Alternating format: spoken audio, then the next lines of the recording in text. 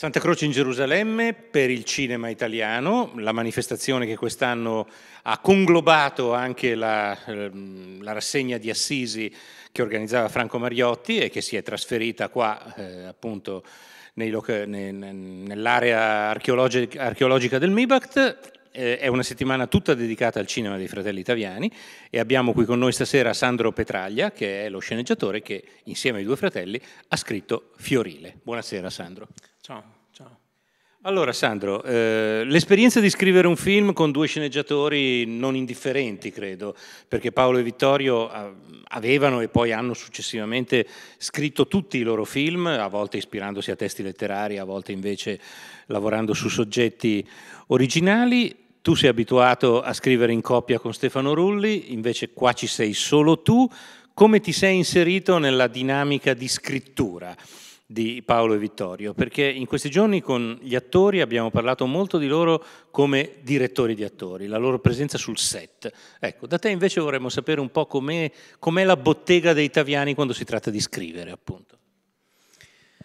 Beh, ehm, sì, io sono, insomma, ho partecipato al film nel, nel 92, um, loro mi hanno chiamato, io tra l'altro neanche li conoscevo, insomma qualche volta li avevo incrociati, poi non avevo fatto molte, molti film all'epoca, avevo lavorato beh, con Nanni Moretti, con Amelio, insomma con... Ehm, però mi sembrava molto strana questa cosa, perché poi loro negli ultimi tempi avevano lavorato con Tonino Guerra. E poi avevo un'idea dei Taviani come di persone, come, dire, come di un gruppo completamente autonomo che non avesse bisogno di gente esterna, perché anche perché lavoravano o da soli o con persone che, che conoscevano da anni. Ho trovato innanzitutto delle persone molto aperte, molto libere, molto spiritose. La cosa che mi ha colpito di più nei primi incontri, che erano molto leggeri, molto brillanti, era molto divertente eh, stare lì con loro. E, mm, anche se erano dei lavoratori infaticabili. Io sono arrivato su un soggetto esistente, un soggetto che già aveva dentro tutto il film, eh, si chiamava Oro e quello doveva essere il titolo del film. Poi non fu possibile perché questo titolo era stato depositato da un'altra produzione, che credo che non abbia mai fatto il film, ma questo succede certe volte, e quindi loro hanno dovuto cambiare titolo nel corso del lavoro si era deciso di chiamarlo Fiorile perché a questo nome poi abbiamo dedicato anche una serie di scene. E, ehm, la cosa eh, che era più complessa per me, poi io, io, avevo un po' di timore reverenziale dei Taviani perché pensavo così a un cinema anche in qualche modo cartesiano, rigoroso mm, e quindi eh, mi domandavo dov'è che potevo essergli utile, ma è stato invece una delle cose più, uno dei lavori più semplici, eh, perché loro, rispetto a molti registi, una delle caratteristiche dei registi, per quello che io, che è la mia esperienza, è la loro ansia, la loro agitazione interna, la loro diciamo, sono fragili gli attori, si dice, ma insomma anche i registi spesso sono fragili, mentre invece lì c'era come una tranquillità e delle idee di una tale chiarezza che poi si trattava naturalmente di, c'era tutta la parte di dialogo, loro così un po' scherzando mi dicevano, sai anche con Tonino Guerra noi in realtà facciamo sempre tutto noi perché Tonino non ha mai scritto una riga in vita sua secondo loro, io non lo credo questo, però loro raccontavano che Tonino si metteva a raccontare le cose più incredibili una volta che loro avevano uno spunto e, e, e, raccontava, raccontava, poi diceva non è che pretenderete adesso che io le scrivo pure queste cose, ve le ho dette, le ho... e quindi poi dopo loro cioè, avevano da fare tutto questo lavoro di scrittura.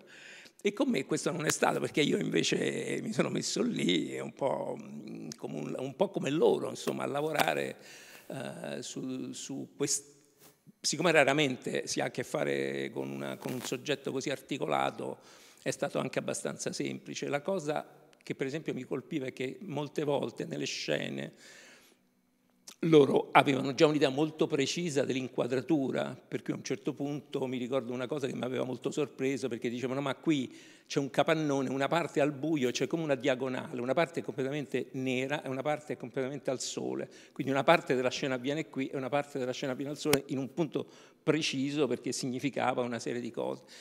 così come parlando con loro c'era eh, rapporto, appunto, questo rapporto luce-ombra, per esempio già nelle prime scene c'è una macchina che deve stare nel buio, poi si avvicina lentamente, è una macchina che cammina in un tunnel, i bambini che siedono dietro chiedono che cos'è quella luce, la toscana, è la risposta dei genitori, la macchina esce e noi lì vediamo il paesaggio toscano come in un quadro, cioè, cioè questa cosa era così chiara nella loro mente che tutte le scene, ad esempio, di, di azione erano veramente molto chiare. Io ho fatto soprattutto lavoro sui dialoghi, questo è quello che ho fatto. Hai detto una cosa che mi fa molto piacere anche a livello personale e molto bella secondo me, ovvero di quanto Paolo e Vittorio siano spiritosi. Eh, ne parlo al presente di entrambi perché mi viene da dire così. Eh, puoi farci qualche esempio? Eh, è una cosa che io ho sempre constatato di loro. Eh, racconto questa cosa veramente in dieci secondi. Una volta li ho fatti venire a Hollywood Party, la trasmissione radio di cui mi occupo, e notavo nei redattori di Hollywood Party, insomma, nella gente che non li conosceva, dicendo: Mamma mia, tutta una trasmissione con italiani. Cioè, gli ho detto: state, state tranquilli, perché vedrete che verrà una trasmissione divertentissima. E così fu, e tutti gli altri effettivamente mi dettero ragione. Anche tu eri rimasto sorpreso all'epoca da questa cosa? E riesci, c'è qualche episodio che ti viene in mente, qualche momento particolarmente buffo? Perché loro due sono, sono buffi in realtà. Beh, intanto la cosa divertente è che mi dissero subito che erano innamorati del film Pretty Woman con Giulia Roberts, che effettivamente detto agli italiani uno dice, insomma io ero preso in contropiede perché io zitto zitto, insomma, pure io, insomma, però non l'avrei mai detto. Ehm, per cui intanto c'era questa cosa di bella. E, ehm, no, ma mi hanno raccontato, due, intanto abbiamo molto fatto un po' di, di pettegolezzi su Nanni Moretti, perché io avevo scritto Bianca, la messa è finita, quindi loro vanno, dicevano, beh, allora, e mi hanno raccontato, ma non sai Nanni quando non era conosciuto che faceva i Super 8, come rompeva i coglioni, veniva sui set in continuazione, fatemi fare l'aiuto regista, fate... e quindi hanno raccontato di... Poi mi hanno raccontato quando l'hanno preso per il Prato, l'hanno preso come protagonista del Prato, e poi mi hanno detto, dopo due settimane, guardando il materiale, ci siamo accorti che non andava, non, non, non era giusto così, e ci siamo detti, ma come facciamo adesso a dirlo? Cioè, perché era una cosa di amicizia, lui aveva fatto il primo film, eh, sì, ma lì aveva fatto una cosa piccola, piccola, piccola, invece lì nel Prato era protagonista. Quindi a un certo punto hanno deciso una domenica che giravano in Toscana, hanno detto senti Nani facciamo una passeggiata in macchina, l'hanno caricato dietro, sono arrivati e nessuno di due aveva il coraggio mai di affrontare. Poi a un certo punto finalmente gliel'hanno detto e la reazione di Nanni è stata ma adesso chi glielo dice a mia madre? che era stupendo, perché poi c'era tutto Nanni in questa cosa, no? Non si è neanche preoccupato per se stesso. C'era già il film Mia madre.